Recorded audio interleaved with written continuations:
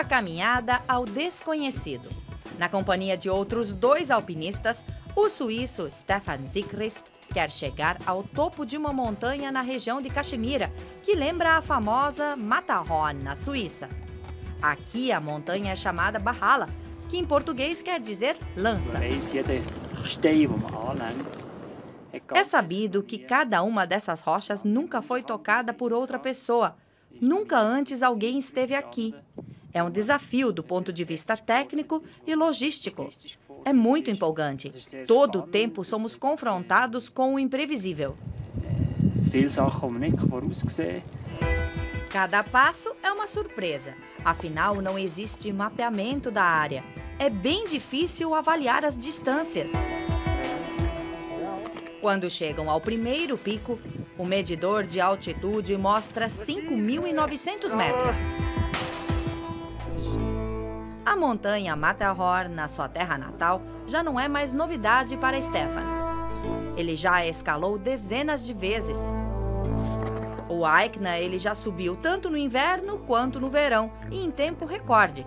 Em diversas montanhas do mundo, ele foi o pioneiro a escalar trechos pavorosos.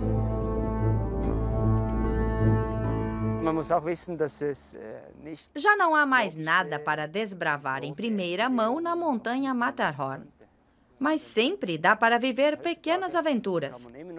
Com essa infraestrutura que se desenvolveu no monte, as aventuras são de nível leve. Quem realmente quer viver algo com adrenalina precisa viajar para longe.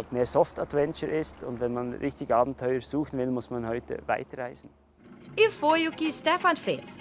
Ele veio parar no pequeno vilarejo de Caban, na região de Caxemira. Os burros de carga oferecidos pelos nativos ajudaram na hora de levar o material dos alpinistas para o acampamento, a 4 mil metros de altitude. A vista que os homens têm do Pico do Barrala desperta ainda mais sede de aventura. Mas o tempo muda drasticamente, o que significa ficar uma noite sem dormir. É nessa hora que a gente se pergunta: qual é a melhor forma de fazer isso? Onde é mais seguro? Passam pela cabeça coisas como: por que afinal ainda estou fazendo isso? Mas esta é a minha paixão. É ponderar entre o que é certo e a pergunta se afinal existe o certo. Os alpinistas estão com sorte. O tempo estabiliza e eles conseguem chegar ao segundo pico sem problemas. E já que obtiveram sucesso até agora, por que não chegar aquele ali, no outro lado?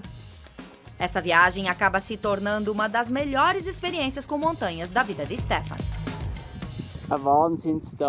Um dia incrível, uma vista fantástica. Desbravamos uma rocha inacreditável. Wir haben hier an dem Pfeiler unglaublich Wahnsinnsfels vorgefunden. Após três escaladas inéditas, em que eles foram pioneiros, é preciso voltar ao vale. Mas a aventura ainda não terminou. Os alpinistas ajudam a população na colheita e um dos moradores os convida para conhecerem a cultura deles. Uma região em que não é todo dia que aparecem pessoas estranhas. Eles ficaram surpresos que eu não tinha outra coisa para fazer na vida a não ser escalar montanhas. Eles me mostraram que as pessoas têm poucas coisas, mas que são felizes com o pouco que têm. E ver como eles se tratam bem e se ajudam mutuamente não só fez bem para mim, mas com certeza faria a outras pessoas também.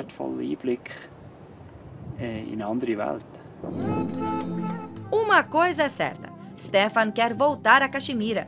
Afinal, aqui tem muito mais para ser desbravado por ele.